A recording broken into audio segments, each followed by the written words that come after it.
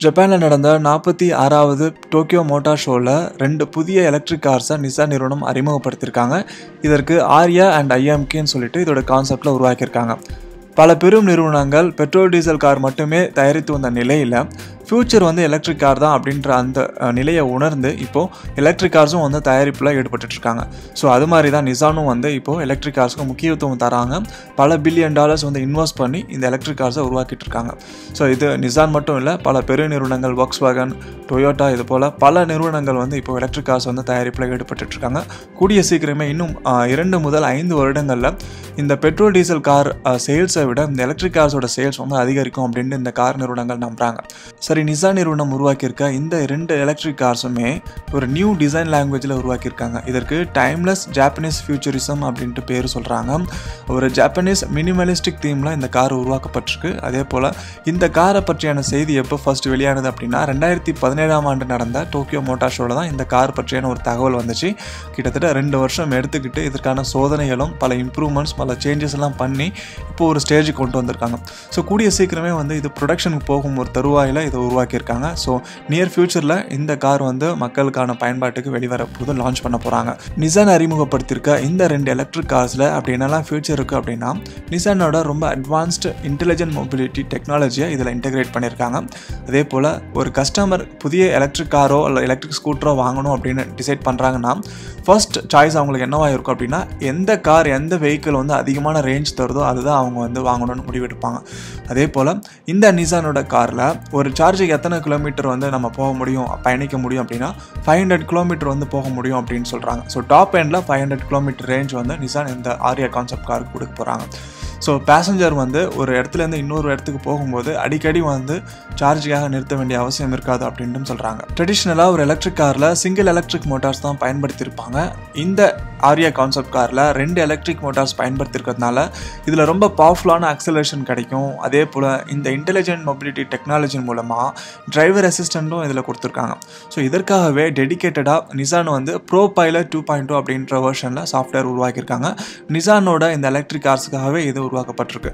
So இந்த advanced software technology என்ன பண்ணும் அப்படின்னா நம்ம ஒரு இடத்துலேருந்து இன்னொரு இடத்துக்கு போகும்போது நமக்கு நேவிகேஷன் பண்ணுறதும் சரி அதே போல் கரெக்டான இன்டிமேஷன் கொடுக்கறதும் சரி அடுத்த சார்ஜிங் பாயிண்ட் எங்கே இருக்குது அப்படின்றதும் சரி. நம்ம ஒரு இடத்துலேருந்து இன்னொரு டெஸ்டினேஷனுக்கு போகிறோன்னா போகும்போது எந்த வழியால் போனோம் அப்படின்னா நமக்கு குறைந்த நேரத்தில் சார்ஜிங் பண்ண முடியும். ஸோ சீக்கிரமாக போக முடியும் அப்படின்ற அந்த விஷயங்களும் இது கண்காணித்து நமக்கு வந்து இன்டிமேட் பண்ணும். டெக்னாலஜி மட்டுமே இந்த காரோட பிரதான ஃபியூச்சராக இல்லாமல் இந்த காருடைய லுக்கும் இதில் இருக்கக்கூடிய எக்ஸ்பீரியன்ஸும் ரொம்ப ப்ரீமியம் அண்ட் லக்ஸுரியாக இருக்கும் அப்படின்னு நிசான் தெரிவிக்கிறாங்க. அது சொல்கிற போலவே இந்த காரோட கேபின் வந்து ரொம்ப ஸ்பேஷியஸாகவும் ப்ரீமியமாகவும் இருக்குது அதே போல் இந்த காரில் இருக்கக்கூடிய அந்த side பேனல்ஸும் door panels A pillar ceiling இது எல்லாமே வந்து பிளாக் சிந்தட்டிக் லெதரில் கவர் பண்ணியிருக்காங்க ஸோ அந்தளவுக்கு ரொம்ப ப்ரீமியமாக இதில் கொடுத்துருக்காங்க.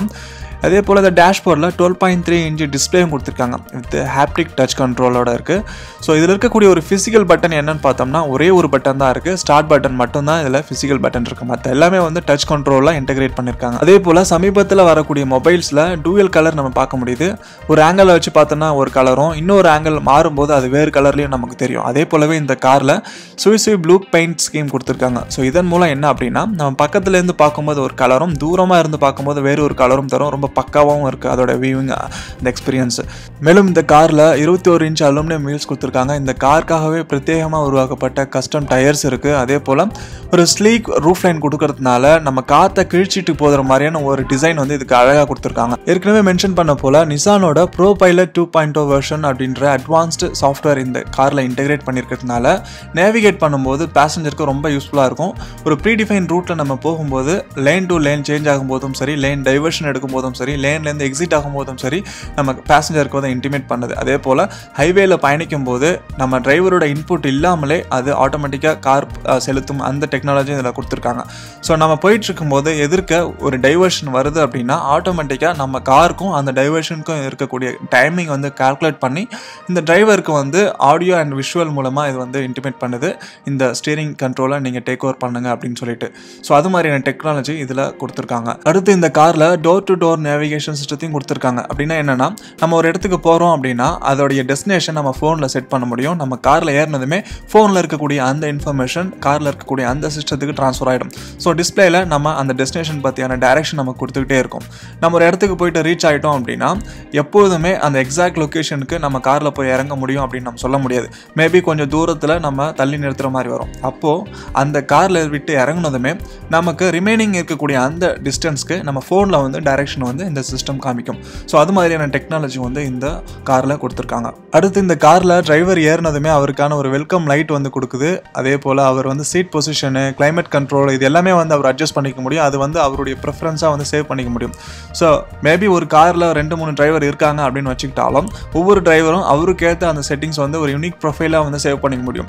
ஸோ அந்த பர்டிகுலர் டிரைவர் காருக்குள்ளே வந்ததுமே அவருக்கான அந்த செட்டிங்ஸ் வந்து ஆக்டிவேட் ஆகிடும் அவருக்கான கிளைமேட் கண்ட்ரோல் அவருக்கான அந்த டிரைவர் சீட் பொசிஷன் இது எல்லாமே வந்து ஆட்டோமேட்டிக்காக அவருக்கு ப்ரிஃபரன்ஸ் எப்படி இருக்கோ அதுக்கேற்ற மாதிரி நமக்கு கொண்டு வந்துக்க முடியும். ஒன்ஸ் டிரைவர் இந்த கார்க்குள்ளே வந்துட்டாலே நம்ம எந்த இடத்துக்கு போகிறோமோ அங்கே பார்க்கிங் எங்கே இருக்குது அப்படின்ற விஷயத்த இதில் இருக்கக்கூடிய விர்ச்சுவல் பர்சனல் அசிஸ்டன்ட் வந்து தேட ஆரம்பிச்சிடும் ஸோ நம்ம வந்து டிரைவிங்கில் ஃபோக்கஸ் பண்ணலாம். இது மாதிரியான விஷயத்தை தேடுவதற்காக நம்ம செலவிட தேவையில்லை. இதில் இருக்க ஸ்மார்ட் ரூட் பிளானர் என்ன பண்ணுன்னா நம்ம ஒரு டெஸ்டினேஷன் போகிறோம் அப்படின்னா நம்ம வெஹிக்கிளில் இருக்கக்கூடிய சார்ஜ் வச்சு அங்கே போயிட முடியுமா அப்படின்ற ரூட்டை காமிக்கும். சப்போஸ் அப்படி முடியாது அப்படின்னு அது தெரிஞ்சதுன்னா மேபி எந்த வழியாக போனால் சார்ஜ் போட்டுட்டு நம்ம போக முடியும். அப்படின்ற அந்த வழியும் நமக்கு காமிக்கும். ஸோ அது மாதிரி ஒரு ஸ்மார்ட் டெக்னாலஜி இதில் கொடுத்துருக்காங்க. அடுத்தது நம்ம ஒரு டெஸ்டினேஷன் போகும்போது ஃப்ரெண்ட்ஸோட போகலாம் போகிற வழியில் வந்து ஃப்ரெண்ட்ஸை பிக்கப் பண்ணிக்கிற மாதிரி ஒரு சுச்சுவேஷன் இருக்கும். ஸோ அப்போது இந்த காரில் இருக்கக்கூடிய சிஸ்டத்து மூலமாக நம்ம வீடியோ கால் பண்ணலாம். அதே போல் ஃப்ரெண்ட் எங்கே இருக்காங்க அப்படின்ற அந்த எக்ஸாக்ட் லொக்கேஷன் நம்ம டிஸ்பிளேல பார்க்க முடியும். அங்கே போயிட்டு நம்ம பிக்கப் பண்ணிக்க முடியும். அடுத்து இந்த காரில் கொடுத்துருக்க ரொம்ப அட்டகாசமான ஃபீச்சர் என்ன அப்படின்னா நம்ம ஒரு இடத்துக்கு ரீச் ஆகிட்டோம் பட் அங்கே இருக்க பார்க்கிங்கில் ஒவ்வொரு காரும் பக்கத்து பக்கத்தில் ரொம்ப நெருக்கமாக நிறுத்தியிருக்காங்க நம்மளோட கார் உள்ளே போச்சு அப்படின்னா நம்ம டோர் ஓப்பன் பண்ணி வெளிவர வர முடியாது. ஸோ இந்த மாதிரி சுச்சுவேஷனில் நம்ம வெளியிலேயே நிறுத்தி நம்ம இறங்கிட்டு இந்த காரில் இருக்கக்கூடிய ப்ரோ பைலட் அப்படின்ற ரிமோட் பார்க் டெக்னாலஜி யூஸ் பண்ணோம்னா ஆட்டோமேட்டிக்காக இந்த பார்க்கிங் லாட்டில் போயிட்டு காரை நிறுத்திடும். ஸோ நம்மளுடைய இன்புட் எதுவுமே தேவையில்லை. இந்த ப்ரோ பைலட்டில் இருக்க ரிமோட் பார்க் அப்படின்ற இந்த டெக்னாலஜி பயன்படுத்திக்க முடியும். டெஸ்லா காரில் ஏற்கனவே இந்த மாதிரி டெக்னாலஜி கொடுத்துருக்காங்க.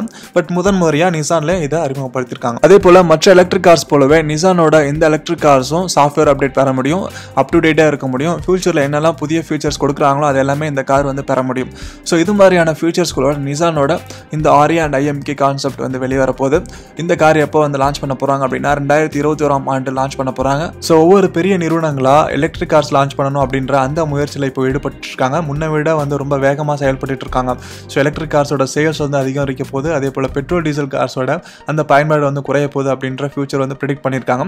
ஸோ இந்தியாவில் எப்படி இருக்க போகுது அப்படின்னு பார்த்தீங்கன்னா எலக்ட்ரிக் கார்ஸோட அந்த மார்க்கெட் வந்து அந்த அளவுக்கு இன்னும் பிக்கப் ஆகல. மேபி இன்னும் டூ டு ஃபைவ் இயர்ஸில் வந்து இது மேபி பிக்கப் ஆகலாம்.